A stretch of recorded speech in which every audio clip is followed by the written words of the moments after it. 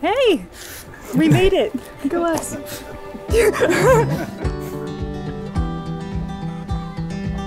Well, good afternoon, everyone, and what a beautiful afternoon it is.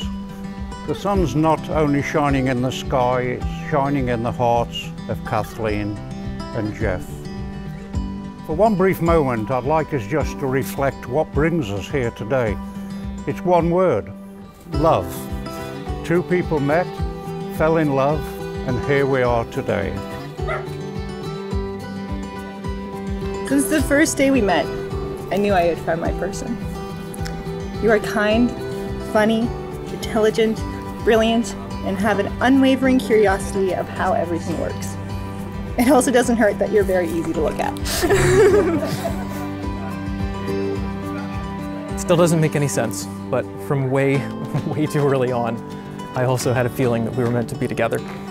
The first time we met was surreal, as if meeting some dream person who couldn't, in any rational world, actually exist, much less be sitting across from me.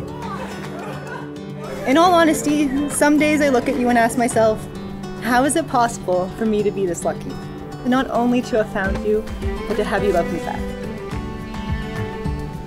We both felt it immediately, a mental and spiritual bond that clicked together like it had a thousand times before. How our minds and hands flow and fit as if made for one another.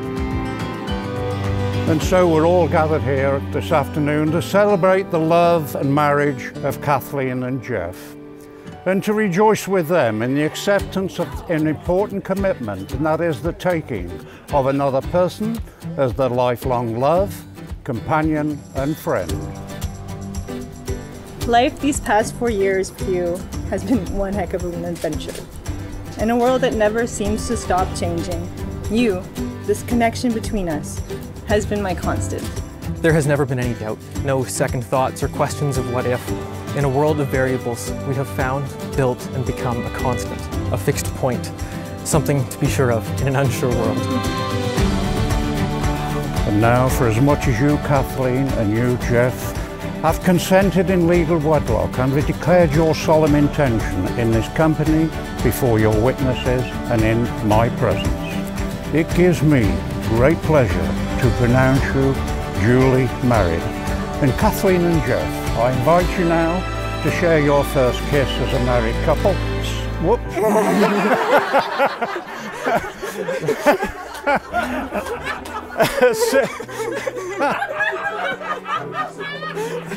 Is he eager? Seal a commitment you've made today and take as long as you like.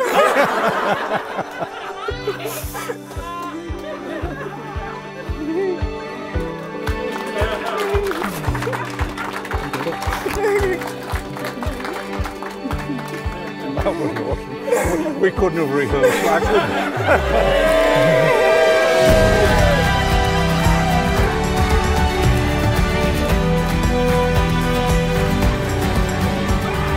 This world sometimes makes me feel like I don't know anything at all. But I do know two things. We were meant to find each other, and I do know love. From the day I was born, I have been so blessed to be surrounded by so many people that love me. Through them, I have learned that there is no limit to love. If you allow it to, it will continue to grow. I have no doubt that our love will keep growing because it already has. Whatever this crazy world throws at us, I know it will be okay because I have you. My companion, lover, best friend, dive buddy, and dog parent. Your wit, charm, beauty, kindness, compassion, and intelligence are beyond compare.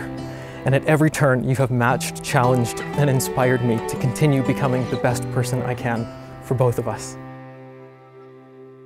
We live in interesting times, and there's nobody I would rather have by my side for whatever comes next. With you, I will always be at home.